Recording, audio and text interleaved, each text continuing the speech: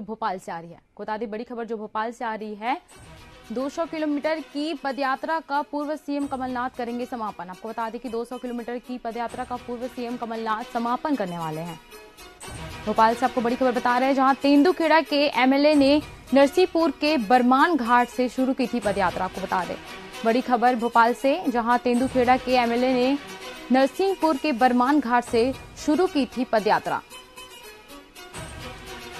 बाईस अप्रैल को सिवनी मालवा में कमलनाथ करेंगे यात्रा का समापन। आपको बता दें कि 22 अप्रैल को सिवनी मालवा में कमलनाथ करेंगे यात्रा का समापन।